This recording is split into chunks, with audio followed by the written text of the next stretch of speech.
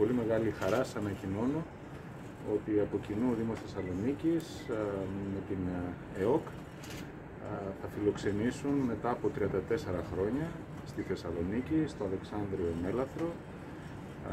ένα σημαντικό αγώνα της εθνικής ομάδας μπάσκετ, η εθνική ομάδα μπάσκετ, η επίσημη αγαπημένη των Ελλήνων. Επιστρέφει στη Θεσσαλονίκη, ένα σημαντικό αγώνα κόντρα στην Λευκορωσία στις 28 Νοεμβρίου, μέρα Κυριακή. Είναι πολύ μεγάλη χαρά που η καινούργια διοίκηση της ΕΟΚ κάνει ποδαρικό στη Θεσσαλονίκη, αλλά συγχρόνως εμπιστεύεται και τη Θεσσαλονίκη για έναν εξαιρετικά σημαντικό αγώνα της εθνικής ομάδας